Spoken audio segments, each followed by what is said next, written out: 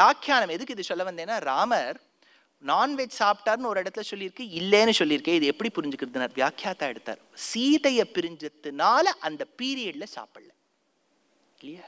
லல்லு உள்ள இருக்கும்போது ராப்ரி சாட்டாளோ பெரிய ஒரு ரிப்போர்ட்டே வந்தது. Rabri refuses to eat when Lalu is inside லல்லுக்கே இப்படி இருக்கும்போது ஜெகன்மாதாவான சீதை பிரிஞ்ச ராமர் சாப்பிடுவாரோ? இதெல்லாம் எப்படி தெரியும்னா வியாக்கியானத்தை படிச்சாதான்.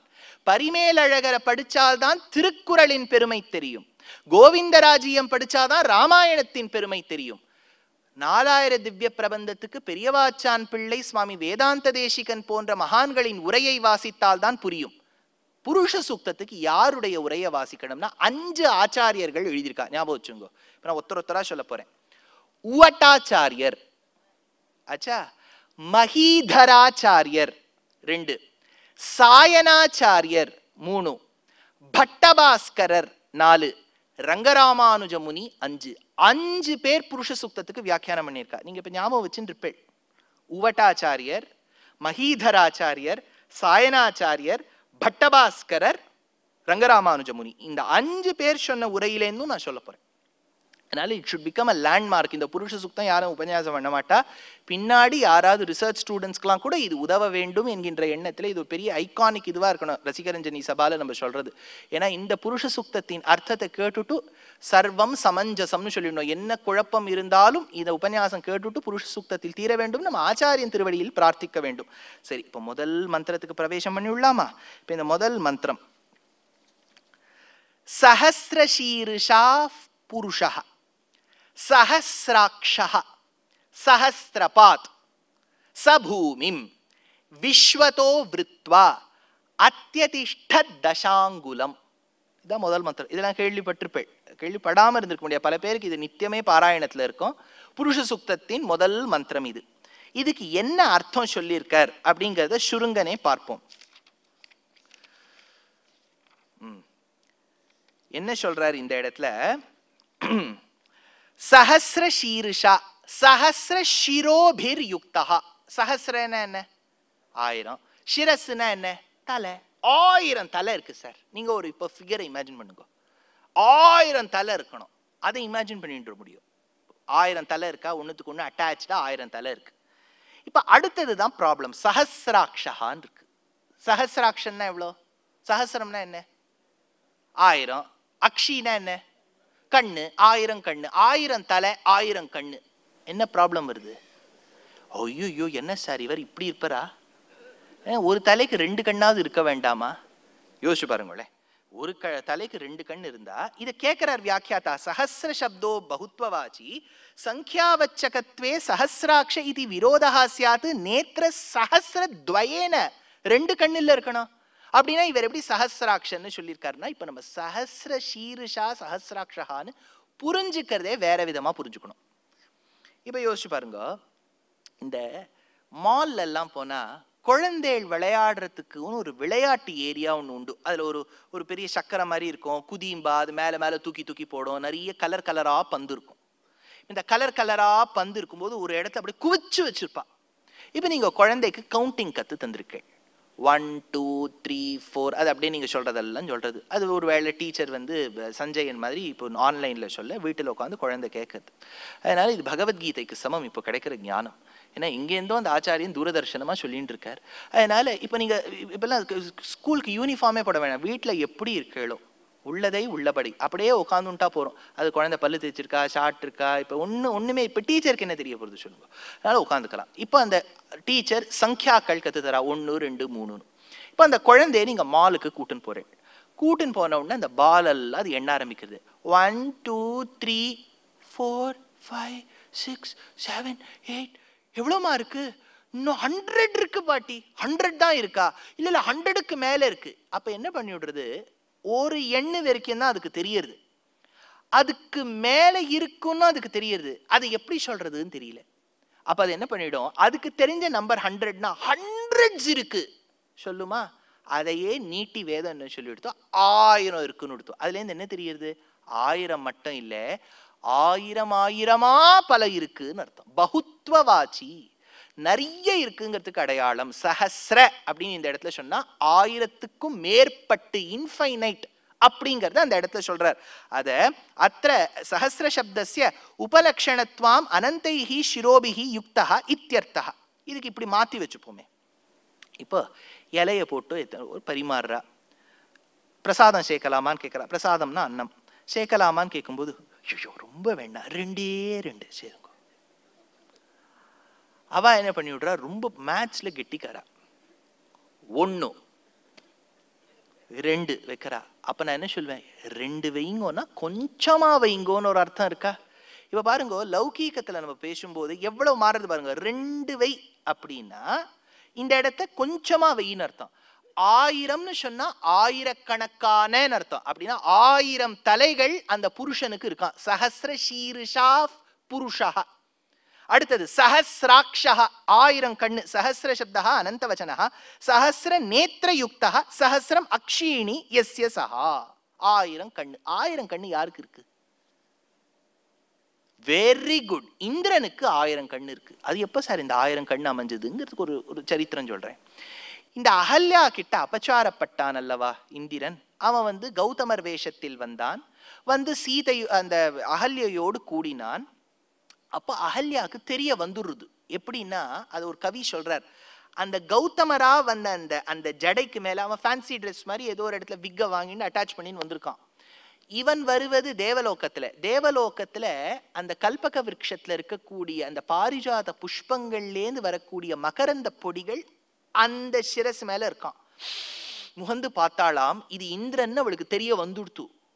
ஆனாலும் இந்திரனாச்சே அவனோடு கூட வேண்டிய பாக்கியத்தை இழக்கலாமான்னு எண்ணி கூடினாள் வந்த கௌதமருக்கு தெரிஞ்சு கொடுத்து சாபம் கொடுத்தார். இவளுக்கு நீ அதிர்ஷ்யா யாருக்கும் தெரியாமல் இருப்ப. கல்லா போன்னு சாபம் இல்ல ராமாயணத்துல. நன்னா ஞாபகம் வச்சுங்கோ. கல்லா போன்னு அந்த இடத்துல இல்ல ராமாயணத்துல. இல்லையே சார் நாங்கள்லாம் இது நம்ம பத்மினிலாம் நடிக்கும்போது அங்க எதிர்க்க பரதன் பின்னாடி வர அங்க கல்லா தானே மாறிடுது அதிர்ஷ்யாங்கிறத கல்லுன்னும் வச்சுக்கலாம். தப்பில்லை. ஏன் சொல்றேன் கேளுங்க. அதிர்ஷ்யானா கண்ணுக்கு தெரியாமல் இருப்பாய்.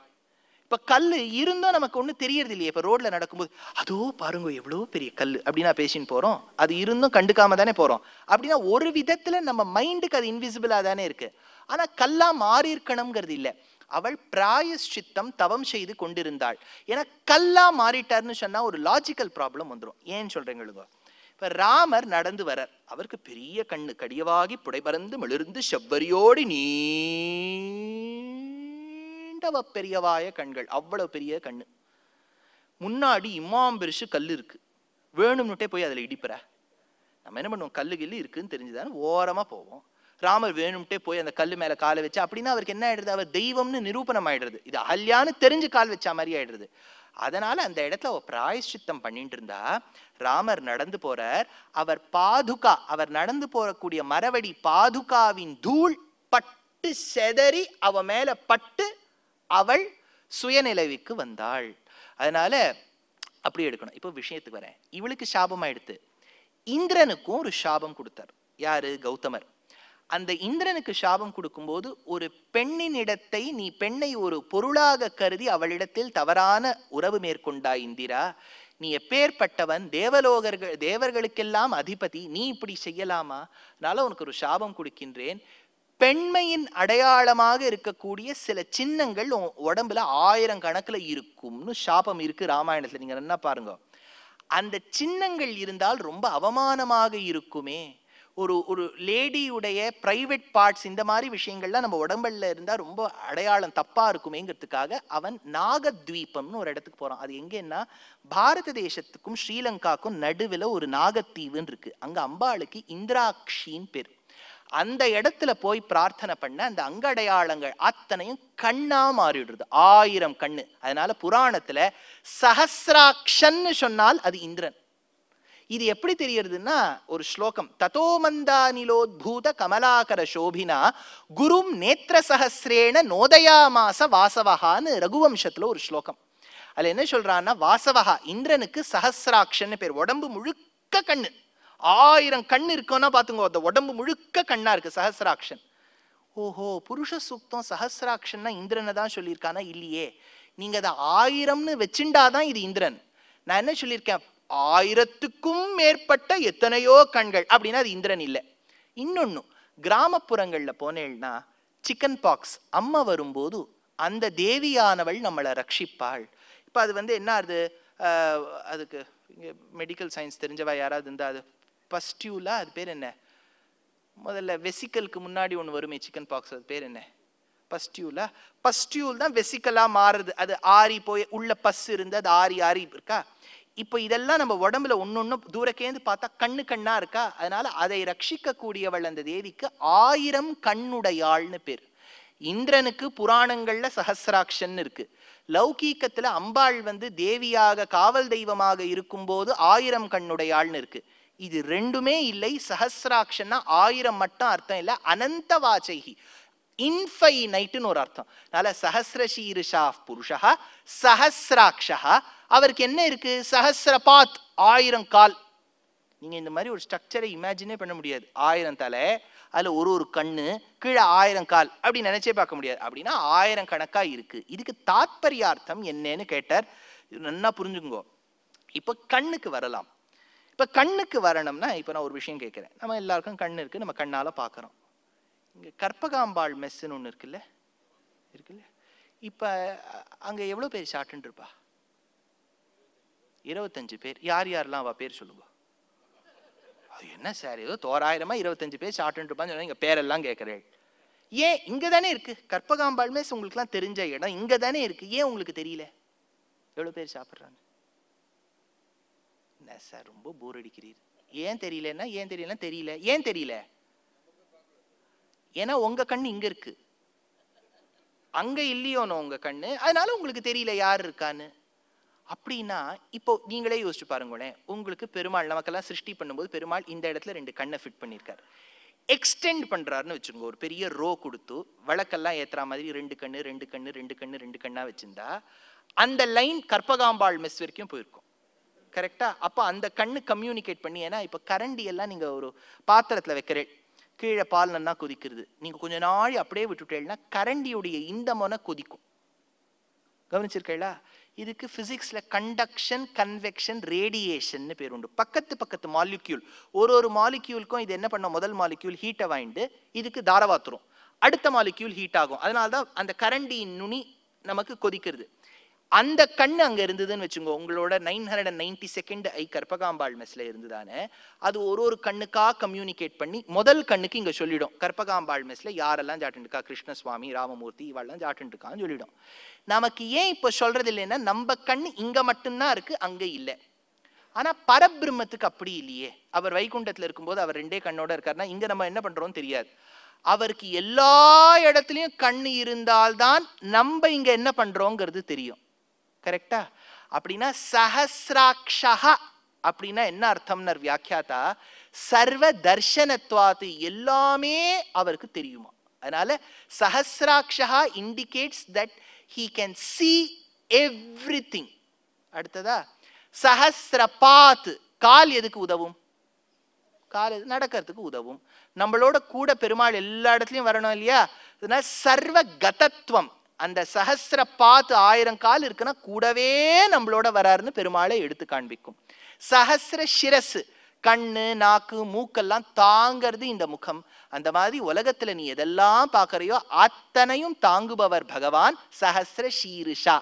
அதனால புருஷனுக்கு ஆயிரம் தலை இருப்பதற்கு காரணம் ஆயிரம் ஆயிரமா இருக்கக்கூடிய தலைக்கு காரணம் உன்னை தாங்குவது போல் என்னை தாங்குவது போல் உலகம் அனைத்தையும் தாங்குகின்றார். சனாதன தர்மத்துல சனாதன தர்மத்தை பற்றுபவர்களை மட்டும் பகவான் ரட்சிப்பார்.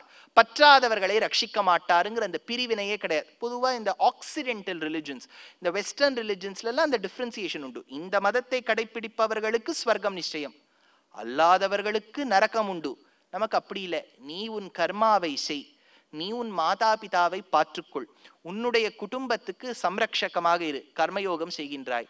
உள்ளிருக்கக்கூடியவன் உலகத்தை படைத்தான் என்கின்ற ஞானத்தை வைத்துக்கொள்.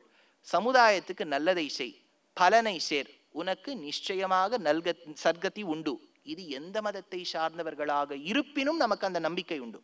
நம்ம லோகா சமஸ்தா சுகினோ பவந்து சொல்லும்போது லோகா சமஸ்தா சுகினோ பவந்து minus Saudi Arabia minus Iraq minus ஈரான்னு சொல்றது இல்லை உலகத்துல நம்பக்கூடியவா நம்பாதவா அத்தனை பேரையும் பகவான் ரட்சிக்கணும்னு சொல்லக்கூடிய ஒரு உயர்ந்த மதம் இது. அதனால பெருமாள் எல்லாவற்றையும் தாங்குகின்றான் சஹஸ்ர சீருஷா எல்லாவிடத்திலும் கண் இருக்கின்றது பார்க்கின்றபடியால் சஹசிராட்சகா எல்லா இடத்திலும் நம்மோடு கூட நடக்கின்றான் சஹஸ்ரபாத். அப்படின்னு எடுத்தா புருஷஹான்னு இந்த இடத்துல இருக்கு. எங்க ஆச்சாரியன் கருணாகரன் சுவாமி ஒரு விஷயம் சொல்லுவார்.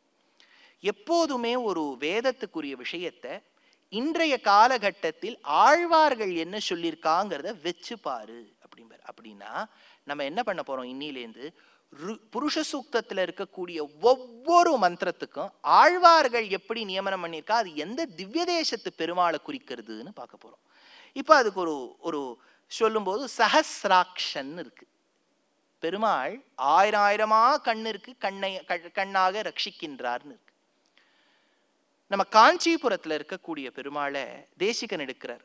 கச்சிதன்னில் கண் கொடுக்கு பெருமாள் வந்தார்.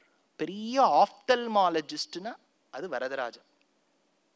கண்ணுக்கு உகந்த பெருமாள் கண்ணுக்கு ஏதாவது ப்ராப்ளம் இருந்ததுன்னா அந்த காலத்தில் பெரியவாள்லாம் வரதராஜனை பிரார்த்தனை பண்ணிக்குங்கோம்பா ஏன் அவர் கண்ணுக்கு கொடுக்கக்கூடிய பெருமாள் அப்படின்னா பிரசித்தமா ஒரு சரித்திரம் கேள்விப்பட்டிருப்பேன். ஆயிரம் வருஷத்துக்கு முன்னாடி ஒரு சோழராஜா ராமானுஜரை அழைத்திருந்தார் சபைக்கு. எங்க ஆச்சாரியனுக்கு எதுவும் ஆயிடக்கூடாது என்பதற்காக ராமானுஜரை கர்நாடக தேசகத்துக்கு அனுப்பி வைக்க கூரத்தாழ்வான் தானே ராமானுஜருடைய வேடமோ அவர்தான் சந்நியாசின்னு பூண்டு சென்றார். சோழராஜா அந்த கூரத்தாழ்வானுக்கும் வாதம் ஏற்பட கடைசியில அந்த கூரத்தாழ்வானுடைய கண்களை பறித்தார் அல்லது அவரே எடுத்து விட்டார் அப்படிங்கிறது ஒரு சரித்திரம். ஐயோ நமக்கு சிஷ்யராக இருந்த கூரத்தாழ்வானுக்கா இந்த நிலைமை வந்துடுத்துன்னு ராமானுஜர் கிடு கிடு கிடு கிடுன்னு ஓடி வந்தார். ஓடி வந்துட்டு கூரத்தாழ்வான் கிட்ட சொன்னார். கண்ணு கொடுக்கக்கூடிய வரதராஜன் கிட்ட பிரார்த்தனை பண்ணு. உனக்கு கண்ணு கொடுப்பர் கவலைப்படாதே. அப்போ வரதராஜ ஸ்தவம்னு ஒரு ஸ்தோத்திர கிரந்தத்தில் ஒரு ஸ்லோகம் பாடுறார். நீங்கள் யாராவது இதை ரெக்கார்ட் பண்ணிக்கிறதுனா பண்ணிக்கோங்க நோட் பண்ணி ஏன்னா இவ்வளோ மெனக்கெட்டு நான் ரெக்கார்ட் பண்ணிக்கோங்கன்னு சொல்கிறேன் பர்மிஷனே கொடுக்குறேன். இப்போ முடிச்ச உடனே எல்லாரும் கிட்ட வருவா. நீங்கள் அது திரு ஸ்லோகத்தை திருப்பி சொல்லுங்கன்னு. அதனால் இப்போவே சொல்லிட்டு ரெக்கார்ட் பண்ணிக்கலாம். நீலமேக நிபம் அஞ்சன புஞ்ச ஷியாம குந்தலம் அனந்த ஷயம் துவாம். அப்ஜபாணி பதம் நேத்திரசாத் குரு கரீஷ சதாமே. கரீஷ கரிகிரியில் இருக்கக்கூடிய வேழமலையில் இருக்கக்கூடிய வரதராஜா தாமரையை ஒத்த நேத்திரங்களோடு கூடிய எம்பெருமானே எனக்கு கண்ண குடு எந்த மாதிரி கண்ணா இருக்கணும்னா இனிமேல் இந்த உலகத்தில் எனக்கு ஞானத்தை கொடுத்த எங்க ஆச்சாரியனான ராமானுஜரும் ராமானுஜருக்கு பிடித்த வரதராஜ பெருமானான ஒன்னையும் மட்டும் பார்க்க விதமா கண்ணை கொடு அப்படின்னு பிரார்த்தனை பண்ணார். அப்பேற்பட்ட ஸ்லோகம் இது. அதனால கச்சி தண்ணில் கண் கொடுக்கும் பெருமாள் வந்தார். சரி சார். ராமானுஜர் ஸ்பெசிஃபிக்கா வந்து இவர்கிட்ட வந்து கண்ணு குடுன்னு கேட்டாரே இந்த வரதராஜர் ஆப்தல்மாலஜிஸ்ட்னா முன்னாடி யாருக்காவது கண்ணை கொடுத்துருக்காரா அப்படிங்கிறதுக்கு சரித்திரம் சொல்றேன். இது மகாபாரதத்துல வருது. உதத்தியர் அப்படின்னு ஒரு மகர்ஷி. இந்த உதத்தியருங்கிற மகர்ஷி ப்ரஹஸ்பதிக்கு அண்ணா. இந்த உதத்தியருக்கு கல்யாணமாச்சு மமதாவோட. இந்த மமதா சண்டை போட மாட்டா. அதனால உதத்தியருக்கும் மமதாவுக்கும் கல்யாணமாக இந்த உதத்தியர் உடைய பத்னியான மமதா கர்ப்பவதி ஆனாள். உதத்தியர் இல்லாத சமயம் வீட்டில். அப்ப இந்த ப்ரஹஸ்பதி வந்து தன் மதனியாரோடு உறவு வைத்துக் கொள்ள வேண்டும் என்று நினைத்தார். நம்ம ப்ரஹஸ்பதியா சார்? ப்ரஹஸ்பதே தாரபதே. தாராவுக்கு பத்தியா நம்ம குருன்னு சொல்றோமே அதே குரு. ஐயோ என்ன சார் இப்படி போயிட்டு இருக்கு கேஸ் கேஸா போயிட்டு இருக்கு அப்படின்னா இந்த ப்ரஹஸ்பதியின் பத்னியான தாரையோடு உறவு கொண்டவன் தான் சந்திரன். சந்திரனுக்கும் தாரைக்கும் பிறந்தவர் தான் புதன். போங்க சார் இந்த கதையெல்லாம் கேட்டால் நமக்கு நம்மளே தேவையில்லைங்க மாதிரி ஆயிடுது. அதனால் இந்த ப்ரஹஸ்பதி தன் மதனியாரோடு உறவு கொள்ள வேண்டும் என்று நினைக்க அப்போது அவள் தடுத்தாள். இது தவறு ப்ரஹஸ்பதி நீ உறவு கொள்ளக்கூடாதுன்னு. அப்போ இவன் வரச்செய்தே அந்த உள்ள இருக்கக்கூடிய சிசுவும் சில மூமெண்ட்ஸால it protested foetus it protested அப்படின்னு இருக்கு மகாபாரதத்தில். இப்போ அம்மாவும் ப்ரொட்டஸ்ட் பண்றா உருவம் அறியாத பிள்ளையும் ப்ரொட்டஸ்ட் பண்றதுங்கிறச்ச அவர் ஒரு சாபம் கொடுத்துட்டார். நீ இந்த உலகத்தில் இருளைத்தான் பார்ப்பாய். பிறந்த குழந்தைக்கு கண் இல்லாமல் போயிட்டு தீர்க்க தமஸ் அப்படின்னு அந்த ரிஷிக்கு பேர். பிறந்த குழந்தை பிற்காலத்தில் தீர்க்க தமஸ்ன்னு ரிஷியாச்சு. அந்த தீர்க்க தமஸுக்கு கண்ணு கிடைச்ச இடம் காஞ்சிபுரம். வரதராஜர் தான் கண்ணு கொடுத்தாருன்னு இருக்கு. அடுத்தா இது ஒரு பிரமாணம் இருக்கு. ரெண்டாவது ராமானுஜருக்கு இருந்த ஆச்சாரிய வரியர்கள்ல திருக்கச்சி நம்பிகள் அப்படின்னு ஒருத்தர் இருந்தார். இங்கதான் பூவிருந்தவல்லியிலிருந்து நித்தியமும் நடந்து சென்று காஞ்சிபுரத்துல பெருமாளுக்கு திருவாலவட்ட கைங்கரியம் பண்ணுவர் சாமர கைங்கரியம் பண்ணுவர். இந்த பூவிருந்தவல்லியில் வாழ்ந்த திருக்கச்சி நம்பிகளுடைய தாத்தா ஒருத்தர் இருந்தார். ஐயோ பெரிய பரம்பரையா இருக்கும் சார் இது. தாத்தா யாருன்னா ஹரித வாரண பிரித்யர் இந்த பேரெல்லாம் தான் சார். கதையெல்லாம் புரிஞ்சு போயிடுது சார். இந்த பேரெல்லாம் எப்படி ஞாபகம் வச்சுக்கிறது ஞாபகம் வச்சுக்காதீங்கங்கிறேன். எல்லாரும் ஞாபகம் வச்சுட்டா எல்லாரும் உபன்யாசம் சொல்லுவா. சும்மா வேடிக்கைக்கு சொன்ன ஞாபகம் வச்சுக்கோங்க. அதனால ஹரித வாரண பிருத்யர். யுதிஷ்டிரன் யாகம் பண்ணும்போது பெருமாள் பச்சை நிற யானையா பிரத்யமானாரா அந்த இடம். அதுக்கு தான் தாசரதி பேட்டைன்னு பேரு. அது மருவி இன்னைக்கு சென்னை பக்கத்துல நசரத் பேட்டைன்னு இருக்கு. அந்த இடத்துல ஹரிதவாரண பிருத்தியர் வாழ்ந்தார். அவருக்கும் கண்ணு தெரியாது. திருக்கச்சி நம்பிகள் நித்தியப்படி பூவிருந்தவல்லியிலேருந்து காஞ்சிபுரத்துக்கு போய் பெருமாளுக்கு கைங்கரியம் பண்ணுவார் இல்லையா? பெருமாளுடைய தீர்க்க தமசுக்கு கண்ணு கொடுத்திருக்கர் அப்படிங்கிற விஷயம் தெரிஞ்சு திருக்கச்சி நம்பிகள் தன் தாத்தாவை முதுகில் சுமத்தி கொண்டு தான் காஞ்சிபுரம் சென்றாராம். கைங்கரியம் செய்து அவருக்கு பார்வை வந்ததாக இன்னொரு சரித்திரம். மகாபாரதத்துல உதத்தியருடைய பிள்ளை தீர்க்க தமசுக்கு கண்ணு கிடைச்சது. திருக்கச்சி நம்பிகளுடைய தாத்தா ஹரிதவாரண பிருத்தியருக்கு கண்ணு கிடைச்சது. இதெல்லாம் தெரிஞ்சுதான் ராமானுஜர் குரத்தாழ்வான் கிட்ட இந்த பெருமாள் கிட்ட கண்ணை கேளு அவர் உனக்கு கண்ணு கொடுப்பார்னார். அதுக்கப்புறம் வீரராகவ முதலியார்னு ஒரு பெரிய கவி இருந்தார். அந்த கவியின் பேரு. அவருக்கு கண்ணு கிடைச்சது. அடுத்தது அரசாணி பாளையை சேர்ந்த வெங்கடாத்வரி கவி அப்படிங்கிற ஒரு பெரிய மகான். அவருக்கும் கண்ணு கிடைச்சது. அடுத்தது ஷங்கர் விஹிதர் அப்படின்னு ரெண்டு அண்ணா தம்பியில விஹிதனுக்கு கண்ணு தெரியாத போது கண்ணு கிடைச்சது. அதனால கண்ணாக கண்ணு கொடுப்பவன் எம்பெருமான் அந்த இடத்துல. அது எப்படி தெரியறது? ஒரு ஸ்லோகம். ஹரிதவரண பிருத்ய சமாஹ்வயம் கரிகிரௌ வரதஸ்துவம பூர்விகம் திருஷமலம்பிய யவஹேஹி சுந்தர ஸ்புடமதஸ்ச பரஷதம் மதிதிருஷம் அப்படிங்கிற ஸ்லோகத்தால கண்ணு கொடுக்கக்கூடிய பெருமாள் வரதராஜர்னு தெரியறதா? இப்போ மறுபடியும் புருஷ சூக்தத்துக்கு வரலாம். சஹசிராட்சா எல்லா இடத்திலையும் நாம் செய்வதை பார்த்து கொண்டிருக்கின்றான் எம்பெருமான். கண்ணாக இருக்கின்றான். கண்ணு கொடுக்கக்கூடிய பெருமாள் யார்? காஞ்சிவரதர்.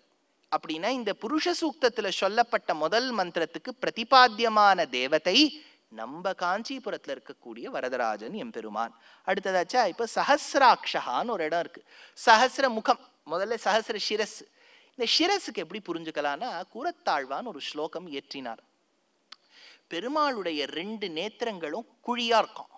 அதுல அவருடைய கருணைங்கிற தயை ஒரு பெரிய ரிசர்வாயர் மாதிரி இருக்கான் மேட்டூர் கேஆர்எஸ் டேம் அந்த மாதிரி இருக்குன்னு வச்சுக்கோங்க. அவ்வளோ முழுக்க தயையா இருக்கு.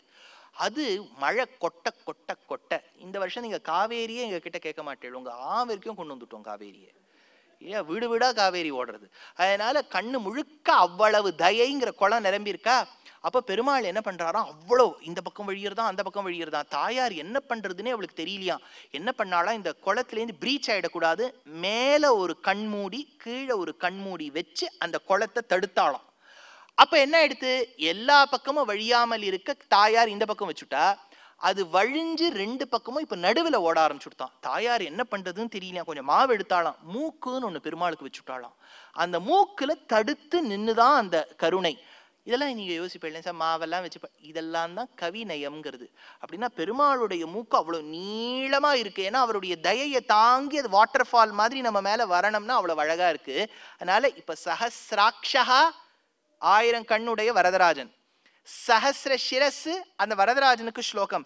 பிரேமாமிருதௌக பரிவாஹ மகாக்ஷி சிந்து மத்தியே பிரபிருத்த சமுதஞ்சித சேது கல்ப ரிஜ்வி சுசுந்தர புஜஸ்ய விபாதி நாசா கல்பத்ருமாங்கர நிபாவன சைலபர்த்துஹு கருணாரசவாஹி வீக்ஷணேர்மவே வரத பிரேமமய பிரவாக பாஜக தததீர வனாவளி புருவௌ திருக்கச்சல சிந்தோஸ்தவ நாசிகேவ சேதுஹு அப்படின்னு பெருமாளை பத்தி சொல்லப்பட்டிருக்கு. புருஷ சூக்தத்துல இருக்கக்கூடிய முதல் மந்திரத்துக்கு பிரதிபாத்தியமான தேவதை வரதராஜன்னு சொல்லிட்டேன். ஆனா இன்னும் ப்ரூஃப்கே வரல. எப்படி ப்ரூஃப்க்கு வரலாம் அப்படின்னா அன்னைக்கு பிரம்மா ஒரு யாகம் பண்ணார். யாகம் பண்ணும்போது அந்த யஜ்ய குண்டத்திலிருந்து ஆவிர்பவச்சவர் வரதராஜன் எம்பெருமான். அதனால உத்தரவேதி தன்னில் உதித்தார் வந்தார். அதனால இவர் தான் உத்தரவேதியிலே உதிச்சிருக்கார். இப்போ சஹசிர சீருஷா புருஷா வரதராஜன். சஹசிராட்சா வரதராஜன். சஹசிரபாத்து வரதராஜன். இந்த பெருமாள் என்ன பண்ணார் சார்? சபூமிம் விஸ்வதோ விருத்வா. இதே பெருமாள் தான் இந்த உலகத்தை அளந்தார் அப்படின்னு இந்த இடத்துல இருக்கு. சஹா புருஷஹான்னு அர்த்தம்.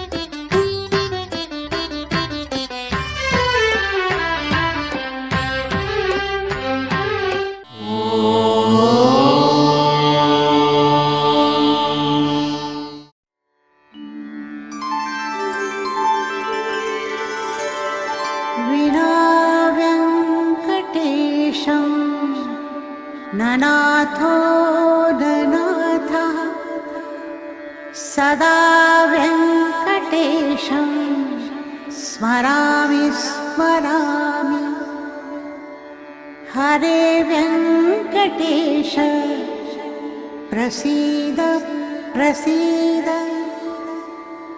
प्रियं वेङ्कटेश प्रयच्छ प्रयच्छ